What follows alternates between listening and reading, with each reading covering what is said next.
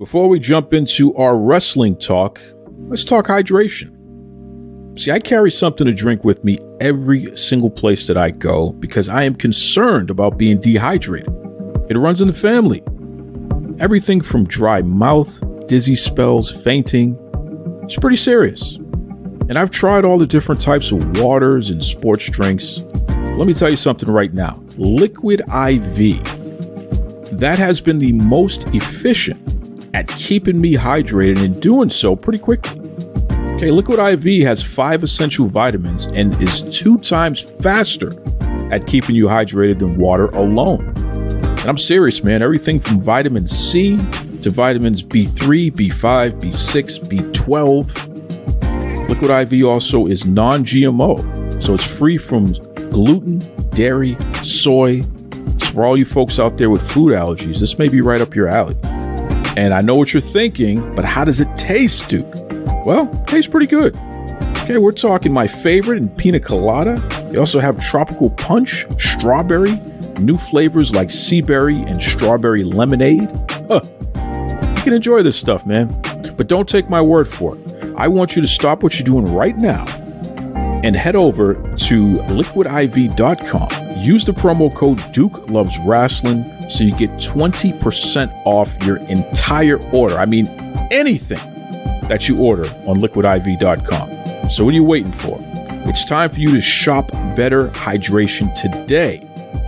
Use the promo code Duke Loves Rasslin over at liquidiv.com. Save yourself 20%. Stay hydrated. Most importantly, enjoy life. That's right. Now, let's get on with the show.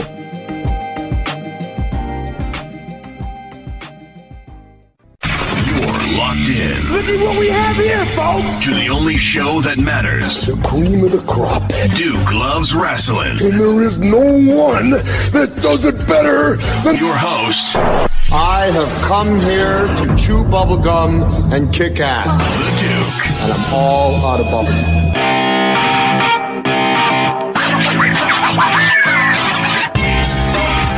Welcome back to the Duke Loves Rasslin podcast, the show about pro wrestling and everything else. Like I told you last week, folks, we are still celebrating the seventh year anniversary of the Loves Rasslin podcast. And certainly thank you to everyone who was part of the episode last week. Ronnie Big Bang Nicole, all of the wonderful folks who sent in the uh, well wishes, or, you know, those voicemails, the Hall of Famer, two time Hall of Famer, Ron Simmons, just really a special episode. And certainly this episode will be no different because in the second half of this episode, we have a special conversation with Kevin Nasta. Okay, this guy is literally a jack of all trades. He's a pro wrestling promoter. He is one of the folks who helps wrestlers get booked at various conventions. He is also uh, the head cook and bottle washer. the dude does it all. Uh, so, really special conversation just about the business of pro wrestling and, and really something. If you're a wrestler, or if you're someone who's interested in breaking into the wrestling industry or being successful in the wrestling industry in various jobs, right? Not just wrestlers, but anybody. This is a conversation you're going to want to hear because Kevin has some some really unique, interesting perspective. So, but again, that's the second half. Before we get to that, I have more well wishes and voicemails from some of our favorite folks who've been on the show in the past and, and I'm going to tell you something. I'm going to play a couple right now because I really want to get into the conversation with Kevin. I'm just going to keep every week for the foreseeable future. I'm going to play a couple of voicemails because there's just so many that have stuffed the inbox, so to speak. So why can't we celebrate our seventh year? Just keep doing it. You know, who says a party has to stop? So I'll play a few on this episode and then we'll get into the conversation. But let's let's jump into the first one here. Check it out. What up, Duke? It's your homegirl Marie Shadows here, wishing you a wonderful happy seventh anniversary in this podcasting game. Seven years. That's a very long time. That's a lot of conversations. And I had the honor to listen to most of those conversations, not all the conversations, but you know, I do what I can get more eyes on you, more ears on you, because those conversations that you have are really needed in both the wrestling community and the other communities that you are in. And I applaud you for having those tough conversations because not everyone is willing to do so. And by hearing those tough conversations and hearing those stories and the truth behind the stories, because everyone has a story to tell, it inspires me to do the best that I can do with my own work and my own interviews. So thank you for that inspiration. Duke, continue to do the work that you do. It is pleasant. It is wonderful.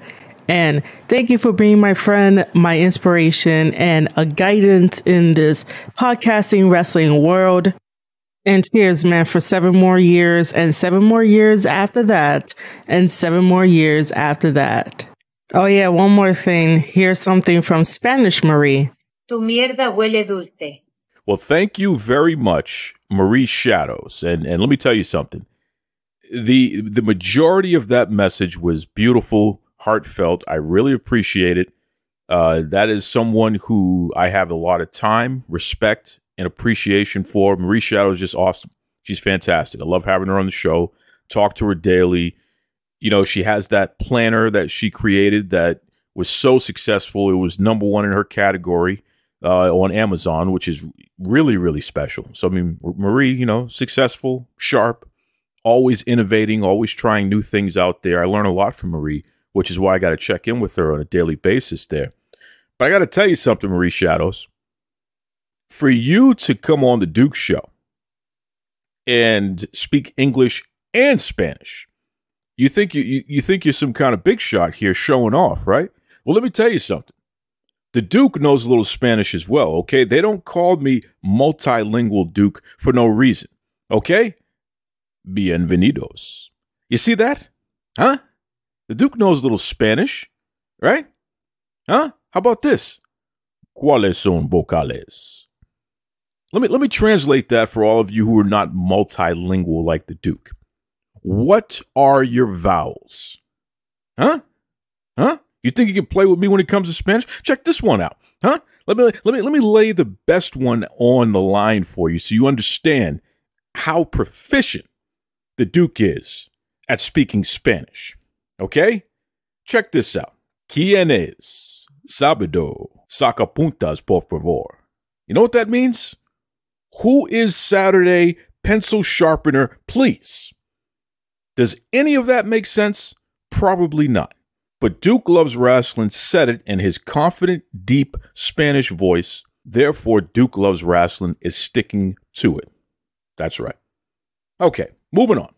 Happy seventh anniversary, Duke. We hope you have an amazing time. We love what you do.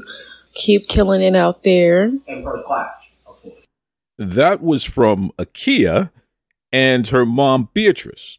You know, two wonderful people, two people who have been longtime Duke Loves Rasslin supporters, great friends. They're part of Duke's wrestling crew. And, you know, Akia, she can go either way. You know, some days she's fantastic, other days she's a little fresh, right? And her mother is even worse. Beatrice is always threatening to toss me up. You know, she she's one of those folks. She's hell on heels. She thinks she's a badass. She probably is a badass. I'm afraid of her, quite frankly. Um, so, you know, but Beatrice can't be threatening me. All right, because see, I'm all the way on the East Coast and she's down south. So it's not like she can come and do anything about it. And I have an APB. I got you know, all points bulletin out there. If Beatrice ever crosses over into the Northeast, I will absolutely go to Australia, the other side of the world, just to stay away from her because I don't even know what tossed up means, but I don't want any part of it. Anyway, moving on to the next one. Hey, hey, hey, this is the Rebel Family Collection, J and Geo. We just want to say to Duke Love Rasslin, happy Anniversary. Happy anniversary, in your seven years, and we love you guys. Thank you, thank you, and keep pushing forward. Fantastic uh, message there from the Rebel Family Collection. You know, Jay, his son Geo. If you folks remember River City Wrestling Con, Geo always uh, participates in the competition, you know, cosplaying the wrestlers. I believe last year he was Stone Cold Steve Austin, which is pretty awesome.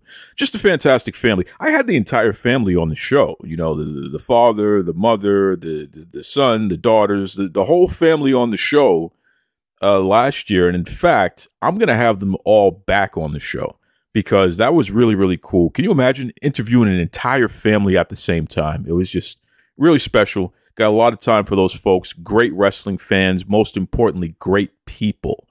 And Jay, you still owe me some Spanish food down there in Florida, man. Next time I'm down there, which is going to be soon, uh, you know, I'm ready. I'm ready for the great Puerto Rican food, my brother. That's right. All right, what's next? I just want to give a big shout out to the Duke Loves Rasslin podcast.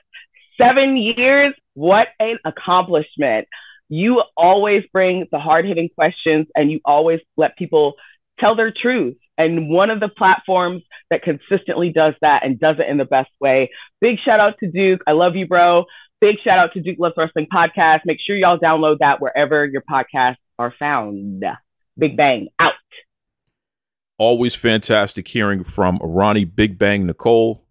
Don't forget she was on last week. That's a, such a great conversation. People keep letting me know they really enjoyed uh, Ronnie's latest visit to Duke Loves Rasslin, and it's just she's special, man. She's special. She's a she's a uh, international pro wrestling star, someone who is so effective at communicating what's going on. You know what she's done, uh, what she's doing, and what she plans on doing in the future. And I mean, really, that's a recipe for success. So, big big fan of Ronnie Big Bang Nicole, and of course, May thirteenth, twelve p.m.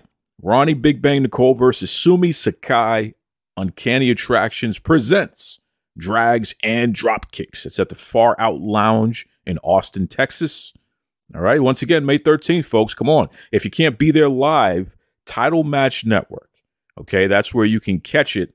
And it's it's going to be knockdown drag out. I mean, they have a whole card of fantastic uh, pro wrestling, drag shows, live music, the whole nine yards there it's just a fun time. It's really a fun time there. And, and certainly Ronnie Big Bang Nicole, she's earned her spot in the main event for uh, Uncanny Attractions, Drags, and Dropkicks. So just keep doing what you're doing, sister. That's right. Okay, who's next? Yeah. What up, Duke? This is Terrence Williams, aka TW from the Talking About podcast. And I wanted to congratulate you on the seven year anniversary of Duke Loves Rasslin. And I love and appreciate Duke loves Rasslin. You know why? Is it because you have interviews with legends that I can hear from without, you know, some big agenda going on? No, it's not it. Is it because you show great respect and coverage for women's wrestling? No, that's not it. Is it because you're from Boston? Hell no, you know that's not it. But it is because you like the smoke. Duke, you are always here for the smoke, and I appreciate that about you, brother. You have no fear, no hesitation about jumping in to any scrap with any quote unquote IWC personality. And you and I definitely don't always agree on everything. We don't agree on a lot of stuff. But you know what I appreciate is we can have our discussion, debate, argument, whatever you want to call it, and agree to disagree and go on about our business. We need more of that. And that's why your content is consistently top shelf. Keep up the great work, my brother. Congratulations on seven years of Duke Loves Rasslin. And the rest of us are just trying to get on your level. Let me tell you something. You talk about top shelf. Certainly, Terrence, my man TW, that that is a a fantastic human being right there. Really appreciate that, dude. And listen, man, you can flatter me all you want, but you know goddamn well that you are the man. I mean, this dude is legitimately, first of all, he has the the talking about podcast, which I encourage everybody to check out. It is a fantastic listen. You know, it's digital, it's video, so you get to see my man um, and and all the fun expressions that he makes as he's talking about everything. Uh, just a really, really sharp dude, man. I, I, got a lot of time for uh, Terrence, and he's being very modest. I mean, this guy is a, a producer for ESPN, so he's not some ham and egger. He's not some uh, flavored malt beverage nonsense. He doesn't need to pull up his skinny jeans because he doesn't wear skinny jeans. This is top shelf. Okay, this is this is don't stand in line. Get the velvet rope ready. Straight to the VIP Okay? You get the top shelf, you pour it for the man, and and and you bow as you pass it to him. That's what this is about. Okay? That's who Terrence is. I can't speak for some of these other humanoids out there. You know who you are, right? But one thing about my man Terrence, talking about podcasts, okay? This dude legitimately is one of my favorite people that I have ever interacted with in this entire IWC space. Consistently, just an adult, top shelf, grown man, doesn't take anything personally, understands, as you just heard him say, we can disagree on anything. And that doesn't mean we have to be disagreeable. You know what I mean? We can move on and laugh about something else afterwards. That's just the way it is. So if if more people had that type of maturity and that type of focus, where you don't have to necessarily agree on every subject, but you can respect somebody's grind and you can find ways to collaborate. If if we all could get to that space, can you imagine how successful we'd all be together? It's it's just it fascinates me. I don't understand why there's such a lack of maturity, especially within the quote unquote IWC, the internet wrestling community, and especially for these these digital creators and these quote unquote media folks. You know what I mean? There is such a lack of maturity. They there is a a a, a emotional challenge that a lot of them have where everything is personal. If you don't agree with what they assume, it's not even what they know, what they assume to be then you must be a terrible person. And if you tell them directly, hey, I don't think that makes sense, they act like you just literally told them that their mama's cooking is terrible. You know what I mean? They they want to literally take it to the mattresses in their own weird IWC streets. You know that none of these folks are real tough guys, but they want to take it to the mattresses in the digital space over that, which is just embarrassing. So uh, it's it's refreshing when you're able to communicate with people like Terrence Marie Shadows, the Rebel family, Ronnie Big Bang Nicole, who's a pro wrestler, so she's in a different class in, in her own right there. But it's it's it's fantastic to communicate with great people who are adults. Again, no skinny jeans, no flavored malt beverage, top shelf. That's the way it should be, Jack. Okay, no flippy dippy peanut butter skippy over here. Okay, we put on uh, woo Ric Flair classics with the way we go about our business. You got that right. Again, Duke Loves Rasslin on Facebook, on, on Twitter, Duke Loves Rasslin at gmail.com. Anyone who wants to continue to send in the well wishes, you're welcome to. I'm going to stop it for now. You know, it, like I said, we'll, we'll just keep playing them each week because certainly seven years to be podcasting for seven years straight with very few interruptions. I again, I and I and I actually, it's funny. I did the math.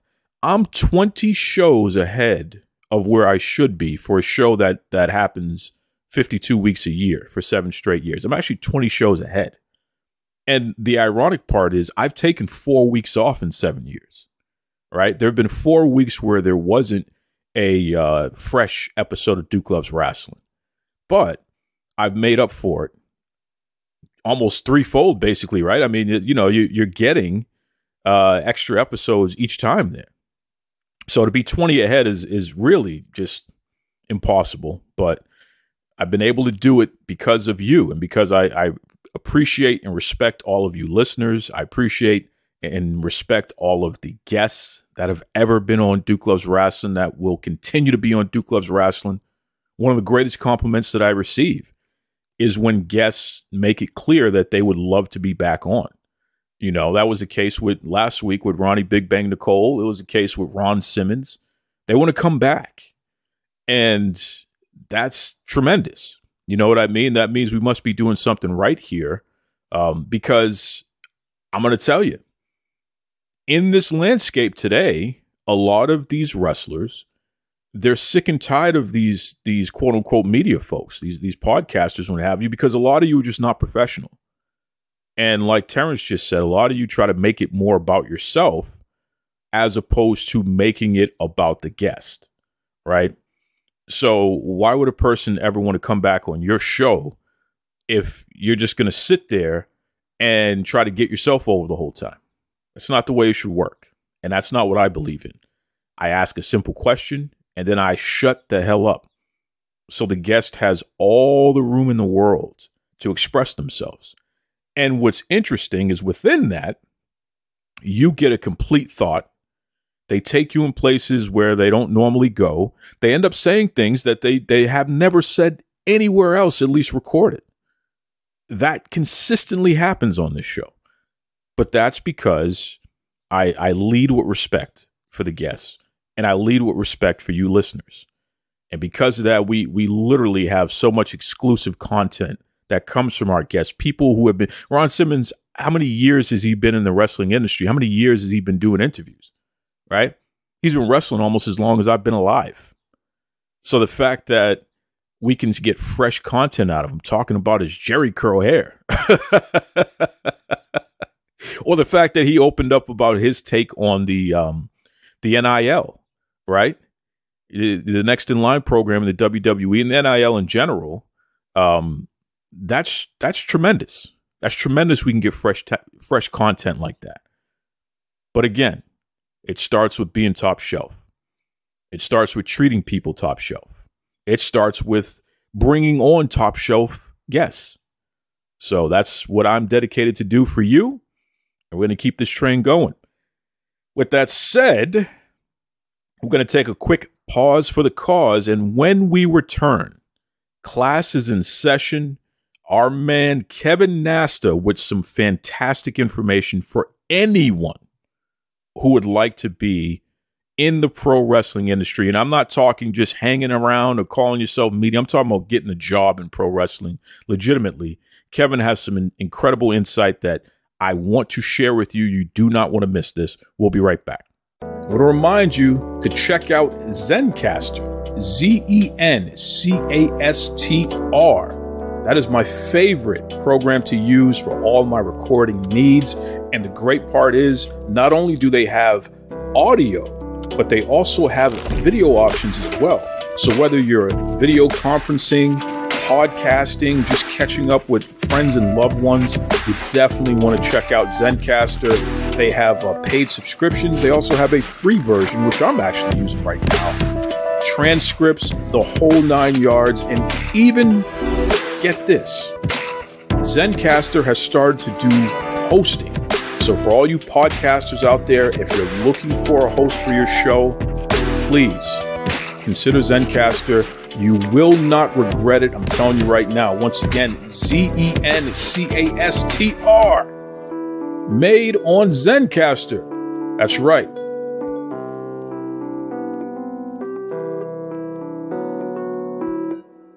Hey everybody, this is Kevin S. Nasta, president and founder of Damage 365 Radio and head booker of Goddesses of War Women's Wrestling, and you're listening to Duke Loves Rasslin. You know, folks, it's it's really something special when you talk to a person who legitimately is a walking, talking, living, breathing Swiss Army knife. You know, somebody who is able to be useful in various different functions and somebody that people actually depend on and respect and appreciate because they're able to be useful in different functions. And certainly that is the case with our man Kevin Nasta here. It is a pleasure to have you on Duke Loves Rasslin, bro. I appreciate it. Thank you very much. Um, heard a lot about you, and uh, I figured I'd jump on the opportunity to uh, to hook up with you with a lot of things coming up, and uh, you know, and your connection with Mission Pro, and you know, our inspiration to doing what we're doing with Goddesses of War. Well, listen, that's high praise, and I appreciate that, and certainly shout out to Goddesses of War, which you're going to be talking a lot about, and shout out to our friends at Mission Pro. Definitely, um, folks that got a lot of time for on both fronts there. But before we get to that, Kevin, I got to ask you directly, and, and I don't know if you've ever been asked this before, so this would be this might be an exclusive here. What the hell is wrong with you that you have your hands in so many different things, and yet you're able to to juggle it all and and be so proficient at what you do? Uh, everything from from putting together entire wrestling cards, you're helping people get booked on conventions uh, there's a lot of other things that you have going on that um, you know we may or may not talk about, but it all centers around you helping people continue to put food on their table and continue to keep their brands alive. I mean, what's your problem, man? How the hell are you able to do all this? Oh, look, it takes a lot of dedication and time. Um, you know, when when the pandemic first hit, uh, we were all forced home to, you know, kind of find ways to make ends meet while we were at home. And, you know, and we did that. And, you know, I, I had a sit down conversation with my wife and I said, Hey, look, you know, at that time I was working in finance. I said, look, I can sit in someone else's office and help make them money, or I can sit in our office and help make us more money. Um, you know, I feel like the decision was kind of easy. She did as well. When uh, when things started to partially reopen, I was able to go out, bring talent to stores to do signings. I was able to get them to do virtual signings, whether it was me conducting it or other vendors that I work with across the uh, Northeast. Uh, it just, it was just a, a perfect uh, mix of opportunities there. And then, you know, I was confronted uh, by the guys of Titan Championship Wrestling to relaunch their women's program, uh, a program that I helped them book four shows for prior to the COVID pandemic. And they were running right up to the point uh, where we were about to be shut down when they were doing outdoor shows to make it a little safer. Um, they were all about sanitizing, wiping down the ropes, uh, you know, between show, between matches and things like that. So, um, when they approached me about you know, goddesses, I was like, you know, I was like, yeah, you know, no problem. And, you know, of course, my wife's looking at me like I got three heads because she's like, all right, how the hell are you going to do that, this, that? But, um, look, it's just, it's just prioritizing. Um, it's one thing uh, I went to school for was uh, business and organizational management. And one of the main things that they teach you is how to prioritize, you know, get as much, uh, much as you can out of time management. And that's, you know, that's what I do. You know, I got my own business, which is, uh, Damage 365 Promotions. I, I'm a talent agent. I bring, um, you know, rep pro wrestling, UFC, MMA, cinematic universe, TV universe. I bring them all over the United States, um, for bookings, for conventions, for store signings, book signings, whatever it is that, um, I'm able to get involved in or they're needed at. I, and then, you know, the, the Goddesses of War program is something that we've run every couple. And uh, if you're not familiar with it, it's an all women's program, exactly the way Mission Pro started. But we're dedicated to keeping, you know, all women's matches, uh, all women's staff from in the ring to outside the ring. Um, you know, I'm, I'm basically uh, myself and the owners are the only male uh, people involved, but we're really not involved. We literally uh, just sit and in the back and watch whatever we put together unfold and and hand out those envelopes. So um, you know, it's just it's just all about um, just time management. You know, I'm I'm old school. You know, I got a notebook and I sit there and I I write everything down in detail. And if I have an idea, it goes in the book. If I'm able to use it, it does. If not, it gets put somewhere else in the book for later use. Uh, I just um, I'm not huge on the digital era, but I'm able to utilize uh, social media and as much as um, you know computers as possible involved in what I'm doing. But you know, it push comes to shove. It comes down to getting on the phone, um, making those phone calls, making those text messages, sending those emails, uh, just trying to get uh, you know new fresh faces out there in the ring or at a convention, and uh, just not roll out the same old same old um, which you know a lot of people get stuck in that rut of doing. They get comfortable. They bring the same people around to the same shows over and over again, and um, then they can't understand why they can't grow. And you got to take chances. You know, you need to spend money to make money. You need to take chances. If you're if you're not progressing, you're you're you're standing still. So it's it's just you know I'm a big walking cliche at this point you know, it, and it all makes sense now. You said organizational management. That's what you went Mm-hmm. to school for. Yeah. And, you know, I'm a, I'm a poli sci guy. I spent a lot of time in state and municipal government. But uh, when I do my consulting, it, it's usually centered around organizational leadership. And whether that be for government or private companies, public companies, what have you, literally teaching managers how to rebuild their staffs, recognize talent from within so you don't always have to go out and and bring somebody from the outside, spend all that time and effort into training them and getting them pro- proficient. Like work with the talent that you actually have and promote them up before you bring in somebody else. Stuff like that, and, and how to treat people right. And I, I say all that because this is why you stand out to me because in every aspect of what you do, we can see all the elements of that. And I find it fascinating that you also have a finance background because Yes. that means you understand how to manage the money, which is paramount if you're Yeah. going to be somebody who is managing businesses and managing and, and developing brands. I mean, that is I also have thir- 31 years of retail management experience prior to that. love it. I knew that was coming. I knew it was coming, Kev. Listen, You Kev. know? I, I was a, I was a flagship store manager at a at a at a, uh, a very famous flat uh, mall store, and there's something about people who worked in retail who survived all the holidays, especially you know Christmas and things like that, who had to manage the back room, who had to keep their numbers up, who had to deal with the economic downturns, and you still had to find a way for your for your uh, LY to be behind your current year, reach your goals, all that good stuff there. So you're telling me that you got that in your background as well. Yeah, I mean, um, I was kind of born into it. You know, my mother worked for American Greetings, um, Carlton Cards, the greeting card company, um, and I was kind of forced into it. Yeah, my mother would drag me to work when I was a kid and uh, get that free child labor, and uh, you know, stocking shelves, taking in orders. Um, her store was in downtown Manhattan on Maiden Lane, so you know we'd trek into there by ferry, walk over from the ferry. Um, you know, you know those old school Manhattan buildings. So the basement was probably about six inches wide, that, that as far as the stairwell, and it'd be sliding down 200 pounds of uh, paper product down a board uh, across the stairs, and I'd be on the bottom catching it and stocking. And so I was kind of like, you know, introduced to it at a very young age. And my first management experience uh, was working at a video game company called Funco Land, which is uh, now owned and operated by GameStop. I miss it, Uh, man. I miss yeah. it. Oh, Uh, that- now you're talking 1992 to 1995. Um, you know, I started off as a game advisor, and within six months, I was an assistant manager. Um, I was there for about 10 months. I just turned 18 in November of 93. And literally, I was approached like, "Hey, you want to be the general manager? The uh, the manager of the store wants to go back to Brooklyn, where he lives." And I literally lived around the corner from the store, so I was like, "Yeah, yeah, hell yeah!"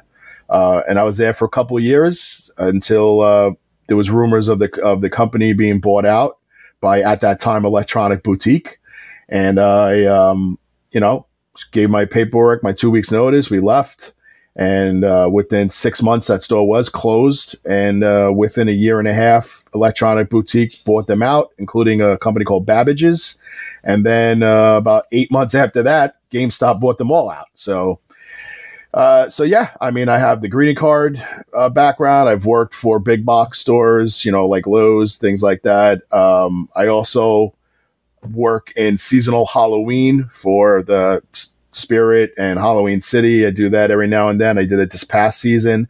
So I always tell my employees when we have our uh, preseason meeting, I said, look, if you can make it through the seasonal Halloween and you get to the end when we're closing up the store, packing it up, sending it out for next year, and you can survive, you can survive working in any retail job uh, that th- anybody ever approaches you with, because this is this is going to test uh, every moral fiber in your body to not want to kill somebody uh, when you work in a Halloween store. Because Halloween, the week of Halloween is like Black Friday every day uh, leading up to Halloween. So it's um you know it's it, it's trying. It's uh, it tests your patience. You t- it tests your people skills. Uh, but I'm able to use that to help uh, my people skills and how to communicate with staff, how to communicate with customers, vendors, uh, also, you know, organizational management, big, big there, how to get the square peg in the round hole, how to utilize as much of your floor space as possible with merchandise, because if you're not using it, you're, you're losing money because that product is not on a floor. So it's, it's literally the same thing. It's like going to a convention and you have it, you have this rectangular table. All right. How much can I get on this table? How can I display it without it being overkill, but at the same time getting everything on that table I need to make some money?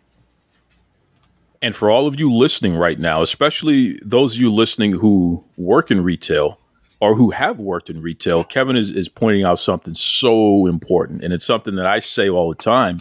And I actually recommend, regardless of the industry um, that I'm in, where I'm providing services, it's like, hey, if you can find people, especially people who are retail managers, bring them in because these are the folks who literally have weathered the storm. They've dealt with the busiest times. They've dealt with the slowest times. They've had to make decisions about uh, when to let staff go because they just don't have the money to keep them on. You know, especially when it comes to seasonal stuff. Exactly what you said about the Halloween store. Uh, it's Black Friday every day leading up to Halloween. Yeah. So folks who can who have that experience can handle just about anything, and they work the best in high pressure situations. So man, I, I'm learning a lot about why what you do is successful because look at this background, man. I mean, that's it's it's solid. It's so, I I wonder about something. I'm gonna I'm gonna take us off the beaten path for a second, but it's all related because when I speak to people who try to promote wrestling shows, mm-hmm. or you know they try to start their own promotion, what have you, everyone has you know these grand ideas, and a lot of folks make the mistake in the very beginning, especially where they're spending a lot of the money that they have saved up to do this thing. They bring in this one and that one from all over the place, and and and what have you. And then when we get four, five, six, seven, eight, nine, ten shows down the, the road here, the money's dried up. And Right. part of the reason why the money's dried up is because they spent too much too soon. They didn't really really scale it out properly. How does someone like yourself deal with the challenge of flying people in from all over the country? Because looking at the, the folks who you book, they're not all right there in your state. You know what I mean? So there's a lot of travel involved in this as well. How do you, how do you balance the cost of that? Um, it's you know, being in retail, you you learn and appreciate the meaning of the P and L. I mean, it's um, you know, people don't know what that is. That's profit and loss. Uh, I use Microsoft Excel. I'm a little old school there. I use Microsoft Excel. I make my own P and L. Everything that goes into the company goes in there. Anything that gets taken out and spent comes out. And you know, obviously, at the end of the day, you want to be in the black, not in the red.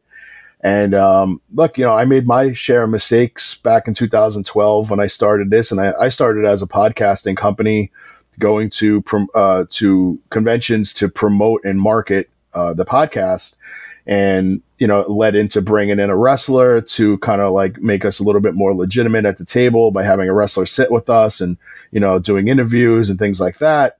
And it led into us just bringing in talent only.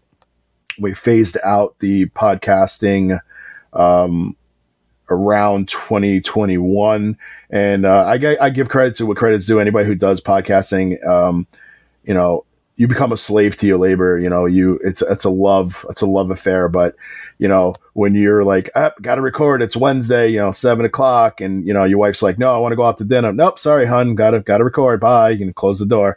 Um, you know it becomes trying after a so anybody who is able to do it keep it going. I give you kudos because i know uh, what goes into it and the editing and everything else. Uh, we did a live show so there was no editing. So if i screwed up it was uh, it was live for everybody to hear. And, and trust me we we did screw up a lot.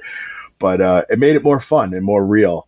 Uh, as far as uh, wearing multiple hats, it, it is what it is. You know, you become the travel agent, you become the negotiator, you become the booker, you become the uh, the hotel booker, uh, you become the, the the ground transportation, uh, you know, the the, the food provider, uh, everything. But uh, if you're organized, you, you can do it. If you're jumping into this because you think it's a cash grab, um, you're you're gonna go down burning in flames. You you need to be organized. You need to have uh, knowledge of a P and L, the the value of money. Uh, we made mistakes at the beginning. You know, we spent a little too much because you know we wanted to be the first to bring certain talents out. You learn from that. You don't need to be the first. You just need to be the best. Um, yeah, yes, Ricky Bobby says if you're not first, you're last. That's not really true in this industry because uh, uh, you see a lot of people booking the same people all over the United States. So that that philosophy kind of gets thrown out the window. But you want to make sure is that when you're with that talent, you take care of that talent. You treat that talent like per like people, not merchandise. You treat them like they're the center of the universe. Um, you treat them better than family. That's what I always tell them. And uh, when they go home, they have a smile on their face, and they always know that when they pick up the phone and they see your name, that they know it's going to be a good experience. I love it. I love I love that whole history that you just told us, and you're absolutely right. I mean, we we're still in celebration mode. seven year anniversary of the Duke Loves Rasslin podcast. And seven years is a long time to podcast, but it's it's a short Yes. amount of time in life. And I can tell you, man, in seven years, I lost count how many promotions came and went, uh, how many how many podcasts came and went for exactly the reason that you just said. Yeah. You know, and, and what we're talking about here, folks are spending too much too soon, not scaling it properly, not paying attention to their profits and their losses, and making sure that you know that that's balanced properly. Um, Yeah. and it's unfortunate because at the end of the day, pro wrestlers, you know, the the talent themselves, it's a it's a very unstable environment, and you hope people are going to be around tomorrow, but you never know with these promotions, and that's why what you are doing with Goddesses is so important because you're providing a stable environment that people can work in and people enjoy working there and, and people enjoy putting on a great show and what have you because they know like you just said they're being treated like human beings they're being treated with respect. Uh, there is an expectation. Everybody has to show up and perform and, and do their best but at the end of the day you're going to compensate them um, and and make sure that they understand that they're appreciated. And that's all anyone asks for with any industry with any job right Yeah, absolutely. And um, not only just not only a professional atmosphere and uh, but it's a safe atmosphere. That's that's what I'm big on. Look, any any dope can run a wrestling show, and we've seen it. We've seen we call them the uh, the tax return wrestling federations, where they get their tax return, they they pop up, they do two shows, and they disappear. Um, this is a safe atmosphere. The locker room is all women. Okay. We don't want guys going in and out of it. I don't care if they're agents. I don't care if they're owners, whatever it is. That door is closed. That door doesn't open until they come out, uh, or they go back in. We have, we have security everywhere. We have, uh, talent from Titan Championship Wrestling working the Goddess show as security and uh, extra help around to to help out whatever needs that they have. So everybody is a team. Yes, it's a women's division, but the, even the guys are there to help at any point that if it's needed. Um, like I said, we have security. We have um, we have the women behind the broadcast booth in the ring, ring announcers. We have t- our ticket takers, like stuff like that. So you know, it needs to be a safe atmosphere. They fear they, uh, they everybody fears the unknown. So when you walk in a building and you see that there's security there, that you know when you walk in that locker room, you're you're not going to have a guy come walking in. You know, I had the last show, I had to go in the locker room. Literally, I was knocking on the door for like ten minutes. Someone came out. I'm like, do me a favor, walk around the entire locker room, make sure it's safe for me to walk in there. I said, I don't care how long it takes you. And then they come out. I said what I had to say, and I was like, all right, good luck, bye. And I left, and that was it. I was like, there's no none of that unexpected nonsense. Um, you know, I want these girls to be able to work, go there, go home and say, you know what, that was a great experience. Uh, I felt safe. Uh, you know, yeah, great show. I mean, that's, that's priority. Uh, at the end of the day, we had a great show. The fans loved it. But at the same time, I want every single talent from inside the ring to outside the ring to know that they're safe working in that environment. So so now that you have everybody you know with a strong understanding that that you are a a reputable business owner and operator and what have you here for folks listening especially you know folks that they're trying to figure out what to do with the kids man summer vacation is upon us here. We're already in may. What do you and your and your business partners and what have you what do you have coming up from now going through you know let's say late summer early fall Um, all right. So like this May, t- this coming May 20th, uh, which is in what, 17 days, uh, at the time of this, uh, recording, uh, we have, uh, a women's show in Aberdeen, New Jersey at the Highline Arena. We're going to be the first show of a double header. So, uh, Wrath of the Goddesses is our show, and it will be followed by Rise of the Titans, which is after us. Uh, we have a, a really good show lined up. Uh, former NXT star Mila Moore will be on the show. Jazmin Allure will be signing autographs. Uh, we have six matches in total. Uh, so, you know, tickets for that, you got to go to titan-championshipwrestling.com and uh, check that out. It's going to be a great show, and it's uh, going to lead into our July show, which we haven't announced the date yet, so I won't I won't spoil it there. But there will be a July show called Battle of Athena. Uh, that that show is pretty much like eighty five percent booked because I'm already that far in advance with booking shows and the talent on it. Uh, that show is going to be very very good as well. We're going to try to you know every show one up the show before. Um, our plan is to have another show in um, October called Hallowed Ground. Uh, it'll coincide with obviously Halloween, things like that. And then our final show will be in December, which is going to be. And if people don't understand, uh, this is this is a very Greek mythological themed company. Um, I I me personally, I do have an associate's degree in Greek mythological studies. So this is fun for me doing it this way, but I didn't start it this way. I just continued the trend. But um, our December show is called the Nike Games.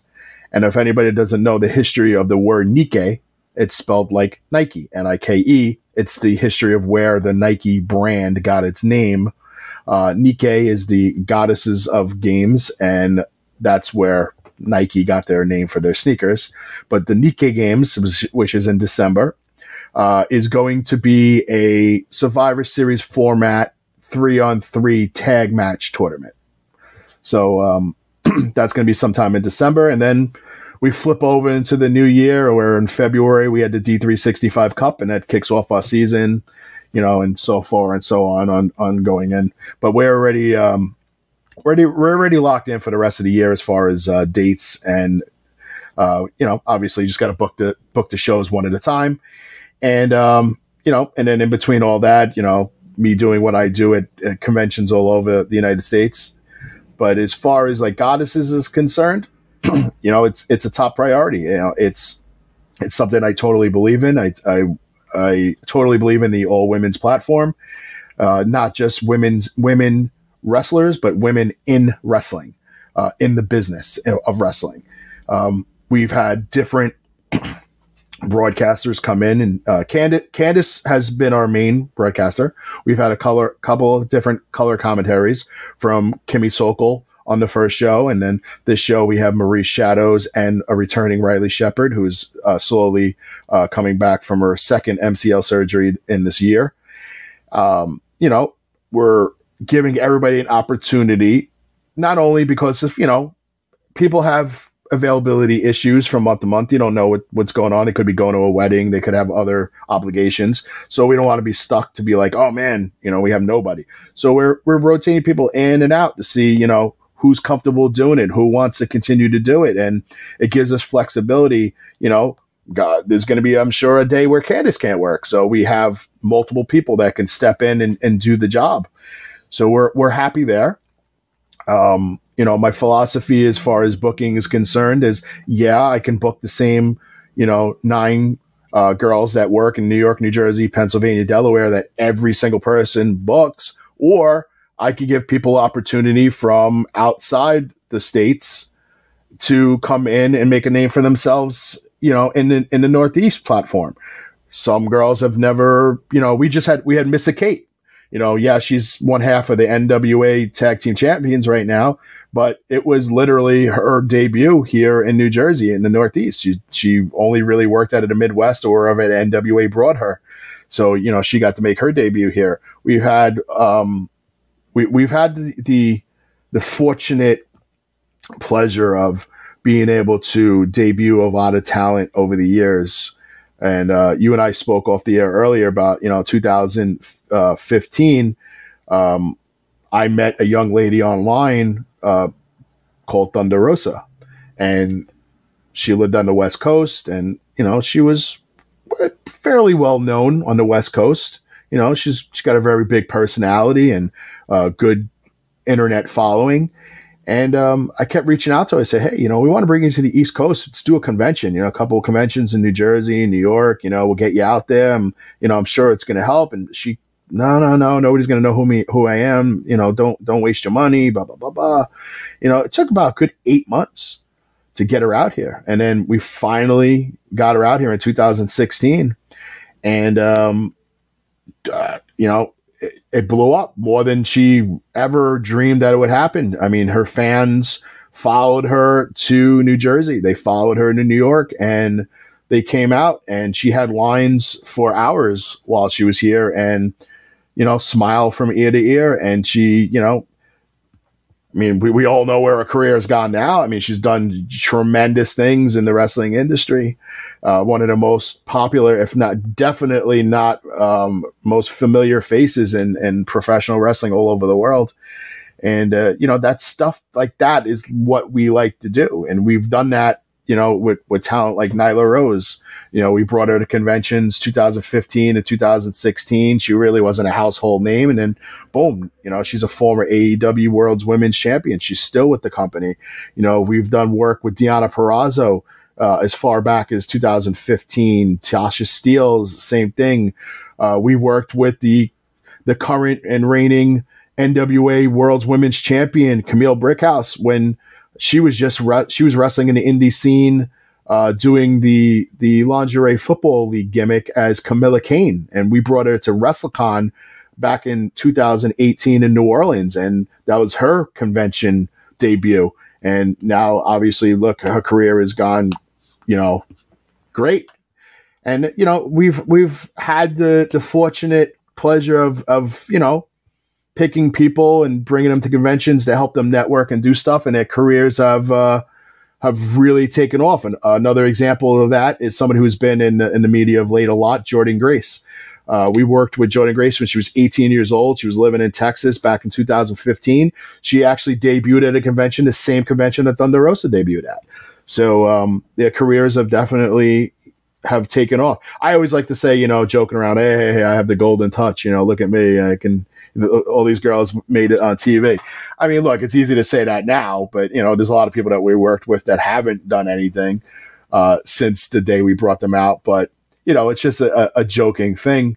But you know, it's like watching my kids grow up. You know, I don't have kids; I have dogs.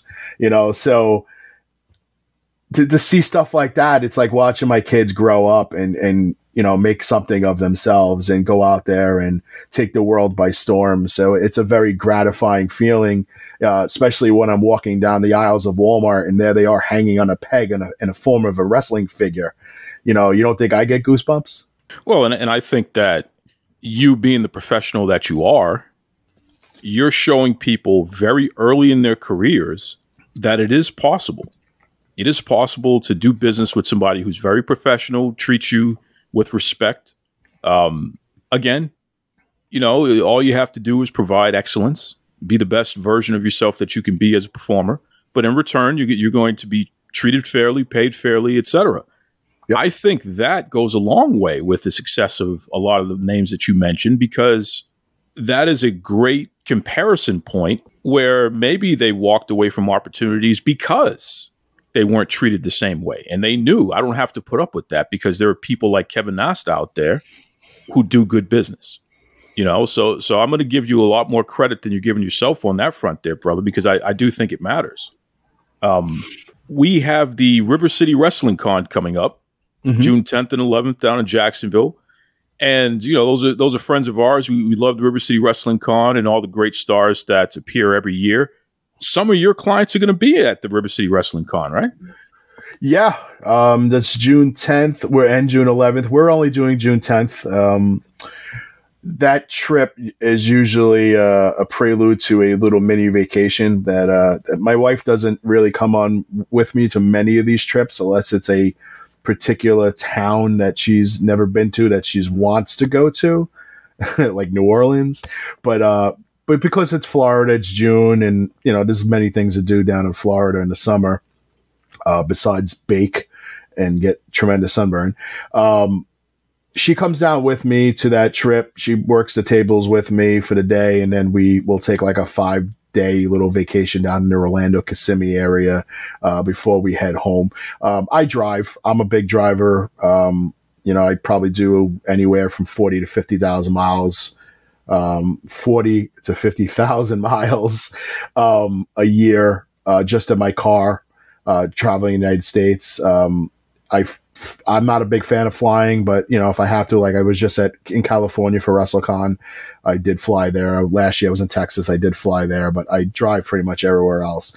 But yeah, we have uh, we have the aforementioned uh, Thunder Rosa. She will be joining us on June 10th at River City Wrestling Con, along with a Damage 365 exclusive client, um, former WWE star Matt Morgan.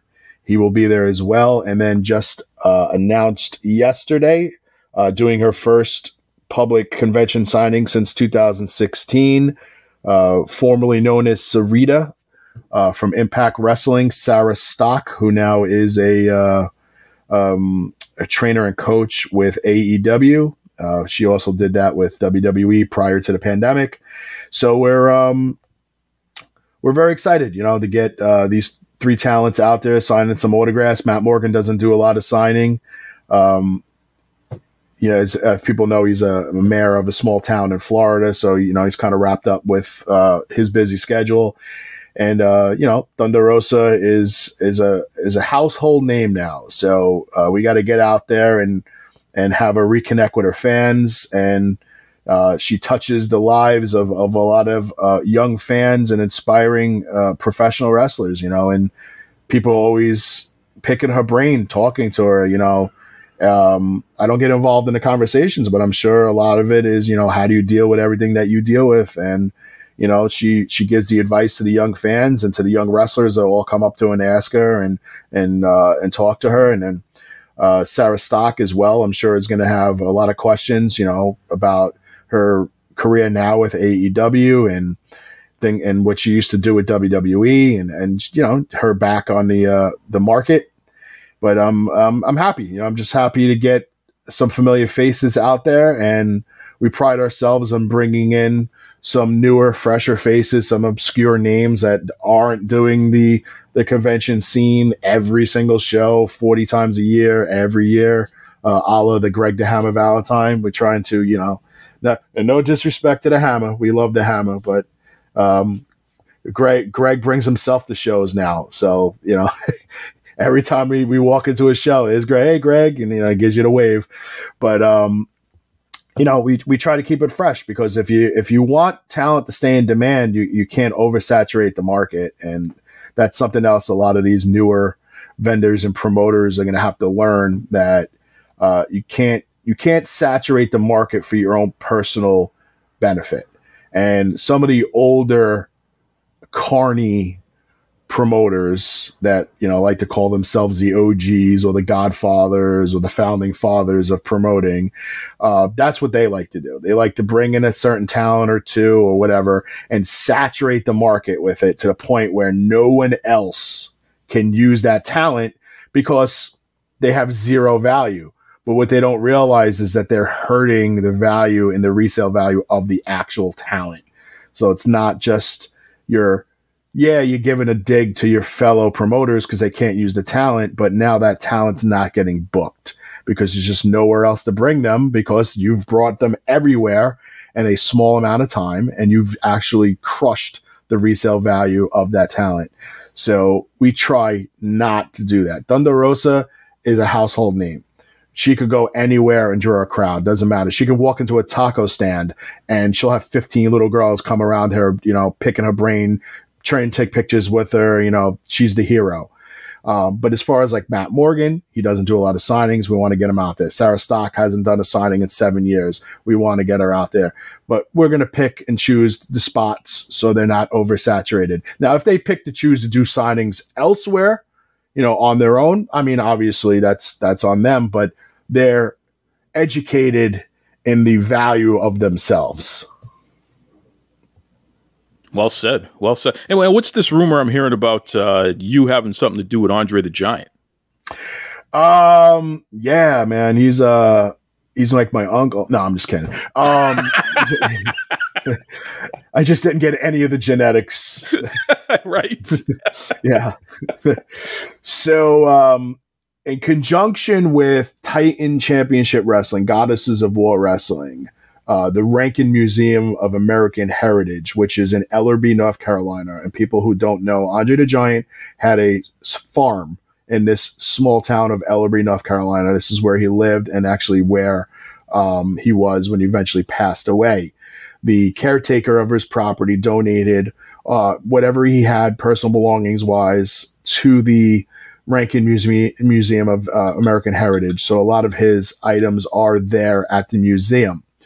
Like any other museum, museums are not there for profit. You know, they do not make money. It Doesn't matter if it's the American Museum, uh, the Natural History in Manhattan, the Smithsonian in Washington. It don't matter. They don't really make money. They rely on donations from um, corporations and the public to survive. They're not relying on ticket sales of you walking in. A lot of them are free when you walk in, so that obviously they're not relying on um, you walking in and buying a magnet. So it, they get their money from donations. So in this case, you know, we're running a show, uh, which is also in conjunctions with Leland's auctions to do a giant celebration and a giant tribute to Andre the Giant in the town where he lived and to help um, collect proceeds to donate to the Rankin Museum of American Heritage.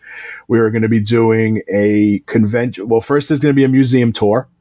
And then followed by that in the museum, there's going to be a convention with multiple uh, former WWF superstars that worked with Andre the Giant. We just announced one yesterday, his former tag team partner, where they were the WWF tag team champions, uh, the Colossal Connection. That's Haku and we have many more. We also have some impact wrestlers that are going to be on the wrestling show that night. Uh, which is going to be right there in the streets, right in front of the Rankin Museum. So it's going to be a great full day of activities between the tour, the convention, uh, the wrestling show. There's going to be food trucks. There's going to be beer trucks. Uh, there's there's going to be live music. It's going to be a lot of fun. That is uh, on August 12th in Ellerbe, North Carolina. Again, go to Titan Dash Championship Wrestling.com uh, to pick up tickets to the wrestling show. The tickets to the convention will be sold at the museum the day of. And, um, and trust me, when I say the talent that we're bringing out is going to be, um, a very direct link to Andre the Giant. So it's going to be a, a, very great show. His daughter, um, will also be there. She'll be signing autographs, meeting with fans, uh, telling stories. Uh, the talent that we're bringing in is also going to be telling stories about their their um, you know their life with Andre on the road or in the ring. We we even have um, a local wrestler, Chuck Coates, who wrestled as a um, um, I don't want I don't like to use the the job word, but um, he re- he wrestled with WWF back in the day, and he wrestled Andre on numerous occasions. So he's going to come down. He's going to share some stories, and you know he'll be signing some autographs and stuff like that. So it's going to be it's going to be a good time. It's it's a good event. It's it's going to be a fun event. And like I said, uh, proceeds from everything from the table sales to the convention sales to the wrestling show sales uh, all pro- proceeds are going to the Rankin Museum of American Heritage. Uh, it's our way of giving back to to the museum in the name of Andre the Giant, and um, you know, hopefully, it brings a little more exposure to the small town and to the museum, and gets uh, it gets it to become a destination spot for some people because you know it's only a couple hours from Charlotte, or um, I think it was like two and a half hours from Indiana so it's it's not that far from multiple hotspots. So it could be a cool destination place to go check out. Uh, not just for you know the American heritage uh, pieces that they're they're housing there, but because of the uh, the Andre the Giant memorabilia and personal items. I mean, you you got a full plate, man. I don't know how you do it, but again, living, breathing Swiss Army knife, Kevin. got a lot of respect and, and, and, appreciation for you, man. You keep doing what you're doing out there. If if there's anyone listening that wants to get in touch with you, um, not just to follow what's going on, but also, you know, there could be some some wrestlers who may want to be represented by you or mm-hmm. send in their stuff, possibly get booked by you at the uh, promotion. What's the best way people can reach you? Uh, best way to reach me is uh, email damage365radio at gmail.com. Uh, you can also message us through our website, d365promotions.com. Um, we're on Twitter, Damage 365 Radio. We're on Facebook, Damage 365, Instagram, uh, D365 underscore promotions. Uh, we're, we're, we're pretty much on every social media platform. Um, you know, the easiest way is either email or through the Facebook, uh, through the, uh, the website. There's a, you know, a contact us feature there. Uh, usually, I mean, unless you're messaging me in the middle of the night, is usually like a 30 minutes. Um, I think our, our uh, response time on the website says about 30 minutes, which is, which is usually very accurate. Like I said, unless, uh, it's in the middle of the night because I'm, I'm usually up to about two or three, two to three a.m. on the Eastern, uh, Eastern time. So, um, you know, if you're messaging me at like six o'clock in the morning, I'm I'm I'm not answering you until I wake up. Sorry.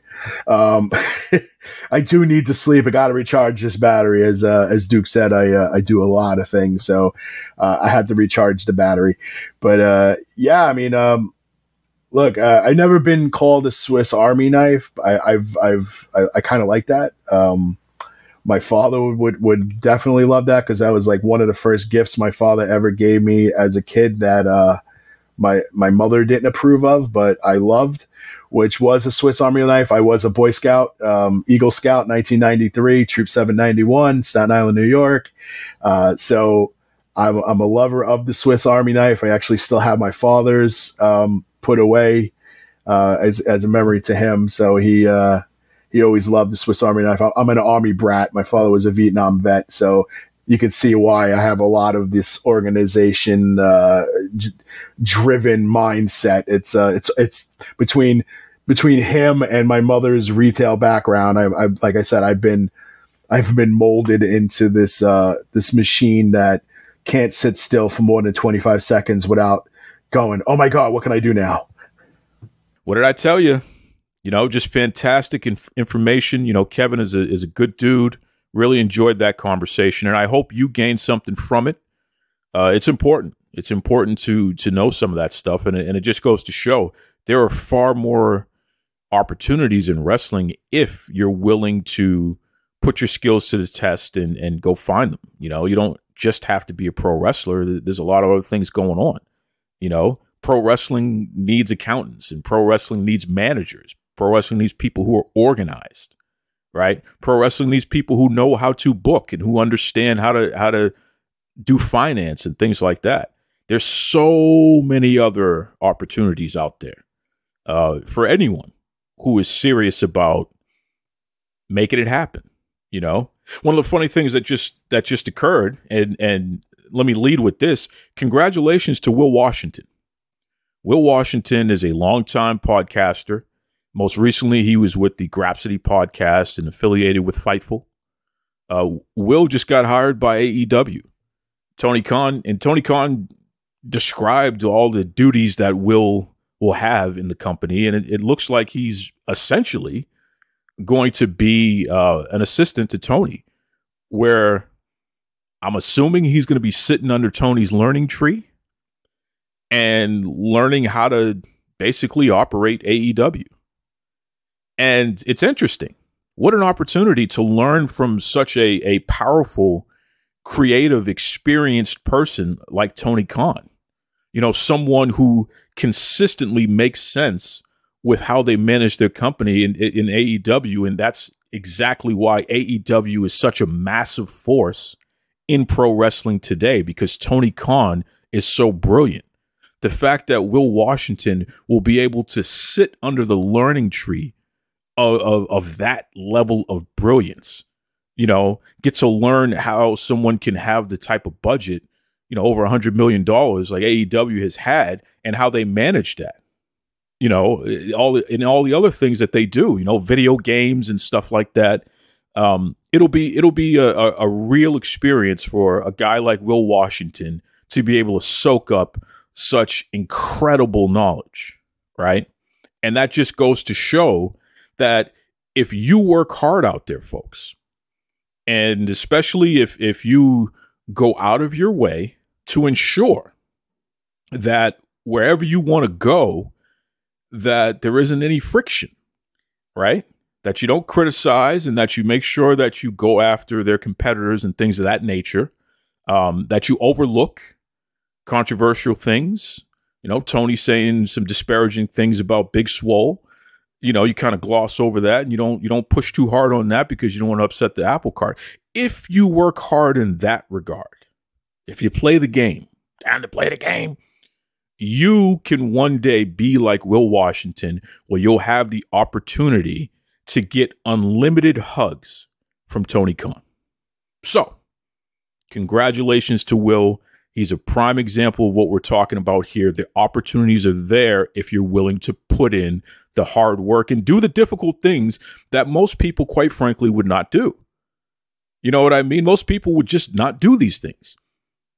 But if you're willing to to to to take that extra step, go the extra mile like Will Washington has done, look at the reward. Literally sitting under the learning tree of Tony Khan. Indeed. Okay, thank you once again, folks. As always, be kind to yourselves and be kind to others. Take it away, Tony Schiavone. This is Tony Schiavone, and we're desperately out of time on Duke Love Rasslin.